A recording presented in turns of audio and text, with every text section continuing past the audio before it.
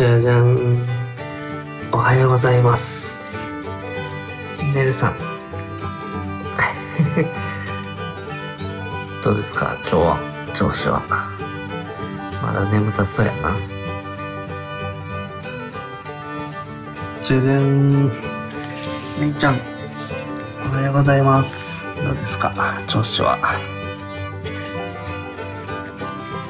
上手に真っ暗使ってますね。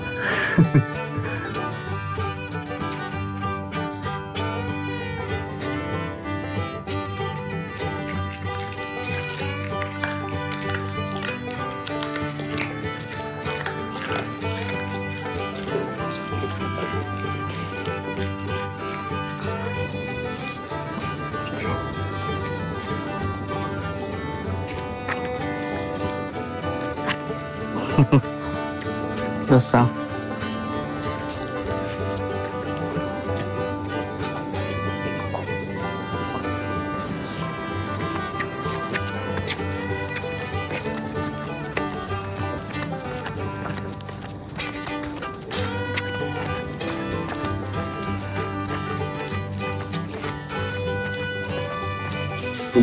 こらせと。いや毎朝ねお味噌汁をね飲んでるんですけど今日はねこの豚汁にしてみました。めっちゃ匂いがやばい。最高にうまそうやね今日。あーうまそう。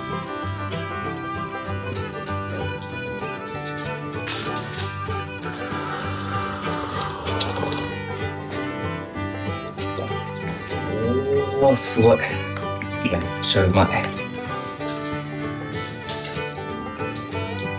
こんにちは。今回もねご視聴いただきありがとうございます。今回はね何をしたいかと言いますと積み立て NISA の結果発表していきたいと思います。よいしょ。結構ね好評で積み立て NISA のね状況楽しみにしてますみたいなね言ってくれる方でいらっしゃるんですよね。で僕のねこの積み立て NISA 毎月ね発表していってるんですけどこれを見てねちょっと始めましたっていう方もいらっしゃったりしてなんかね嬉しくなります。ということで早速発表していきたいんですけども今回はこちら。えー私がね毎月積み立てた日数が2年と7ヶ月になりました。そして評価損益ですね。一番左上の項目が131万7490円でございます。なんとプラス27.5% やばい。めちゃくちゃ上がってますね本当に。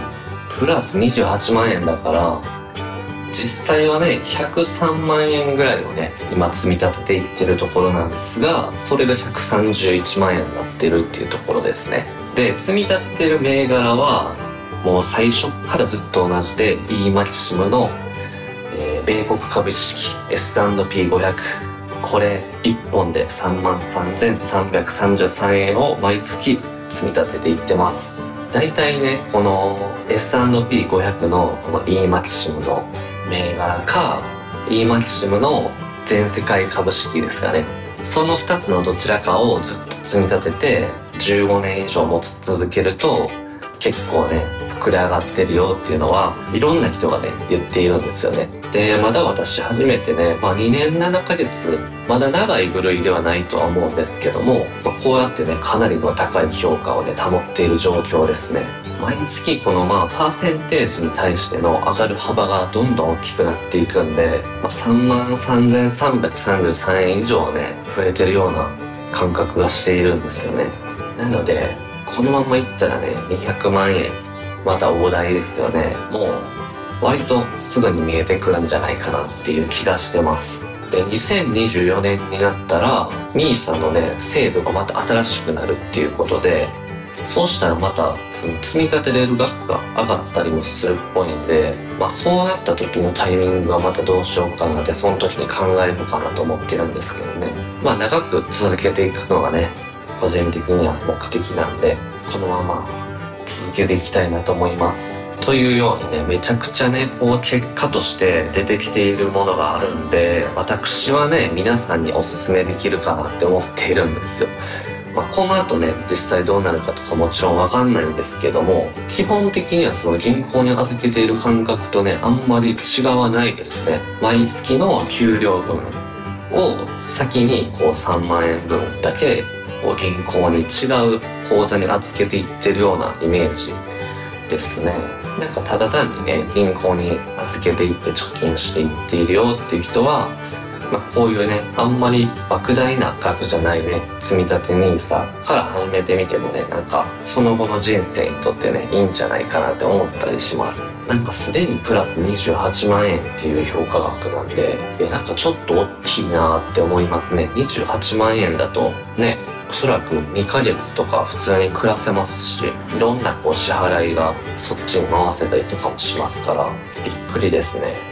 まあ自己責任にはなりますが私は S&P500 をこれからも積み立てていこうかなと思っているんでおすすめしておきたいなと思います。デレンスーパーアップ。当たりそう。当たる。当たっちゃうよ。すんまへんねめいちゃんめっちゃおもろいねんけど。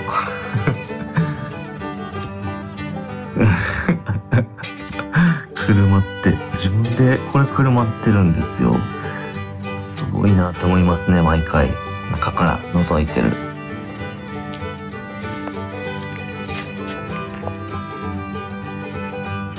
ほんまに毛布好きやな。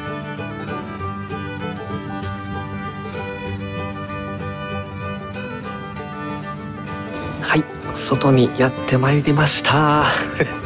と言ってもね今日は普通に仕事があるんで仕事に行ってまいります。上野の方にね向かって行きたいなと思います。もうね9月になって日が経ってきてるんですけどまだまだ暑いですね。今日なんか最高気温32度でやっぱ日中は長時間外にいるのは辛いなっていう状況がまだ続いてますよね。多分9月後半になってくるともう割と最高気温も20度台になったりしてくると思うんですけどね。もうひと夏楽しもうかって感じですかね。で最近はそうそうアップルのイベントね最近ありました。アップルウォッチと iPhone が発表されてましたがいや iPhone やっぱいいですね。楽しみやなって思いました。2年に1回ね変えるサイクルっていうのはね割とちょうどいいかなって思ってて今回2年なんですよね。でバッテリーの消耗もねかなり激しくなってきてるから変えようかなとは思ってます。開封レビューしっかりしていきたいな。iPhone15 多分無印かな選ぶのは。というところで楽しみなニュースの感想でした。さてさてお昼になったということでねご飯食べに行きたいと思います。いやー午前中はね外回りめっちゃしたんでめっちゃ疲れました。暑かった。いつものお寿司屋さんに行って癒されます。ああサリンキル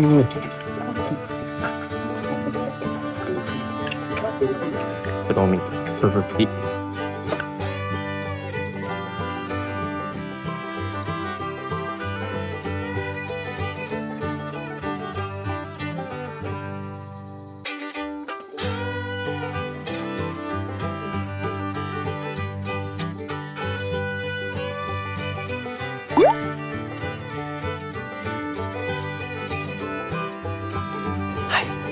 仕事終わりました。これからね帰って寝るとメイの散歩行ってお世話したいと思います、はい、いや今日は疲れた。ただいま大丈夫よいしょただいま。待たせ。うん、うわ。ただい。ま。うわ。すごい。大変や。よし、落ち着い。てください。よ。お散歩行くか。よっしゃ行きましょう。めっちゃ元気。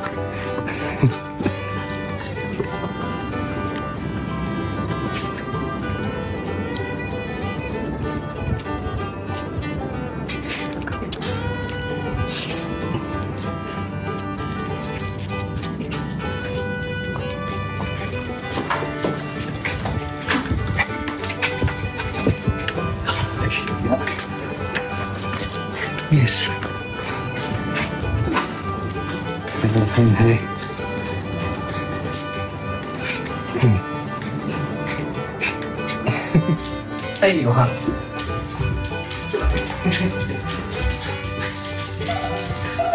いはいはい。どう？あれ？あれ？よし。はい。帰ってきました。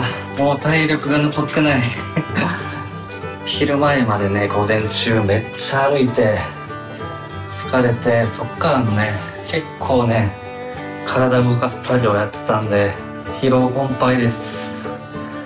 いやー充実した一日になりました。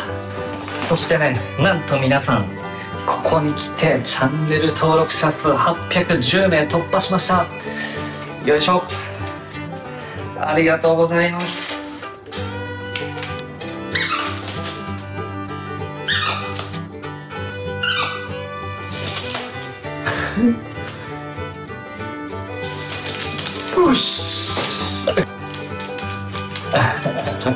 おお持って帰ってった。おおすごいやすごいやいや本当にありがとうございます。最近ね新しく見ていただいている方からもね反応いただけてね本当に嬉しい限りです。この子がねるさんです。11歳。もう一匹のねめいちゃんのお母さんです。またね自己紹介の動画とかもちょっと出そうかな。改めて。ということでね今回もねそろそろ終了したいなと思います。めいちゃん今日もねめっちゃ可愛かったね。ゾウさんとって。そしてねるさん今日も可愛かった。そして癒されました。という方はぜひ高評価チャンネル登録お願いいたします。また次の動画でお会いしましょう。さよおやつ？おやつはまた後でやな。